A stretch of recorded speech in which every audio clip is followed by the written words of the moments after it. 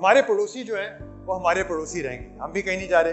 ठीक है, ये मुल्क कहीं नहीं जा रहा, लोग तो जाते रहते अच्छा ये मुल्क कहीं नहीं जा रहा, हमारे पड़ोसी कहीं नहीं जा रहे।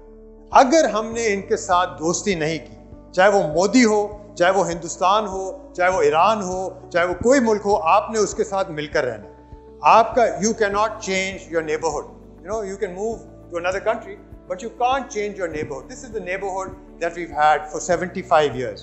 It's a neighborhood that we're going to have for many decades forward ahead. India is not going anywhere. India's India. This is something that people forget. The highest growth rate in terms of economics, economic growth rate, and GDP growth rate in the next two years is going to be India, not China. And we don't talk to India.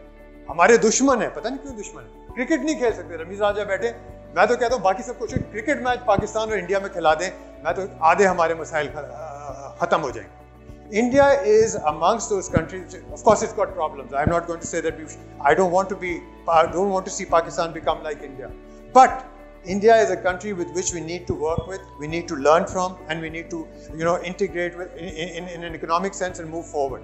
Uh, Iran, we can't even talk to Iran. Forget about Russia से तेल लेंगे Iran के पास तेल है वो तो हम ले नहीं सकते और मुल्क ले लेते हम नहीं ले सकते क्योंकि हमारे ऊपर कर्जे इतने हैं कि जो कर्जे देने वाला है वो कहता है कि नहीं, आप ईरान से तो बात नहीं कर सकते। आप सीपैक तो बना नहीं सकते।